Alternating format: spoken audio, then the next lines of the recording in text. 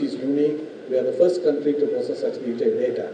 Now perhaps the US mission which has gone there will bring a similar class of data, but we have taken a lead in that. But didn't stop there.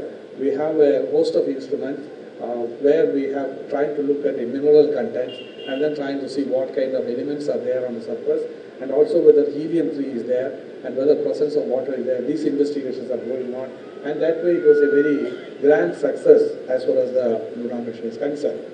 But how did we achieve this? If you think back, it, we had the grand vision of going to the moon. That, of course, which has to be just a dream, cannot exist like that. It has been translated into action plan. Our, our scientists, who is not only within ISRO, but the entire scientific community in India, debated the issues associated with this and charted out a very clear plan of action.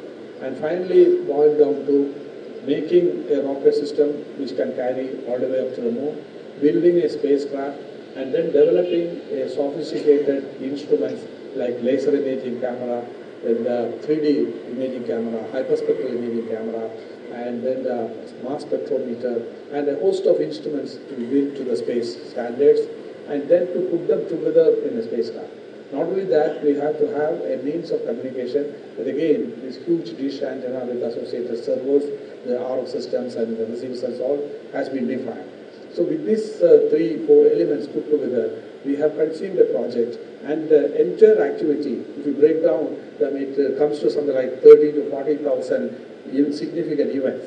All those events are interlinked to make the final uh, event happen. So in every one of these, there are uh, problems, the technological challenges, there could be failures, there has to be workaround plan.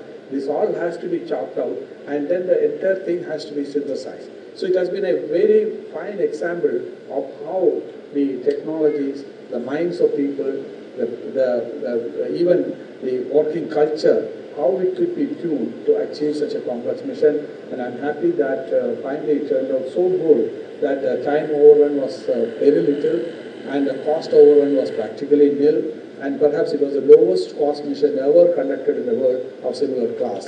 In fact, um, I would say that it was less than, even if you allow for the, the buying power capacity of the Indian rupee and so on, it is uh, something like one third the cost of that of an international mission, and we have shown to the world that we could do that. But it doesn't end there. We have very many challenges before us. In fact, um, today India is emerging as a space power. We have the rocket systems which are globally competitive. Other countries are coming to us to really uh, launch their satellites using our rocket systems. We are building satellites for European customers and uh, also we are having international cooperation in the planetary exploration. But to maintain this leadership, we have to evolve new systems. Something like low-cost access to space becomes important. Today, if you want to send a kilogram of object to space, it is cost around $20,000 equivalent. But with that, many of the future projects like human space flight or exploration to the other planetary systems, etc., becomes very, very expensive. So bringing down the cost of access to space is one of the important elements. So new launch vehicle system has to come in. Again, we cannot forget about our planet Earth. There is a lot of challenges associated with the environment, climate, weather, and so on. The Earth observation in the micro microwave remote sensing and uh, the, the type of uh, observation which is required to identify the trace gases which affect the climate and so on becomes an important element. More than that, a country like ours, the rural connectivity is one of the most uh, demanding things. In spite of all these fibers and wires which is there, we have not reached the remotest part of the village. More than about 30 to 40,000 villages don't have any form of connectivity today satellite communications is the only way of reaching out and we are conceiving of system by which uh, multiple spot beams can be uh, enabled to access to these villages and provide the privilege of the connectivity what uh, city dwellers have today. So the village rural connectivity to the satellites become important and then about all the exploration of the planets nearby, the moon, Mars, the solar systems and all becomes important elements.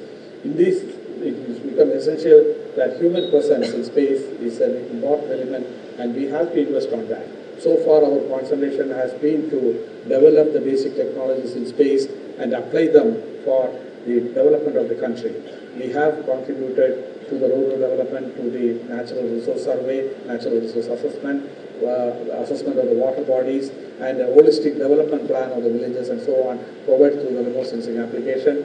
Then also we have been today what the DTH and other connectivity what will be coming from our own satellites and above all the technological uh, strength what we have achieved.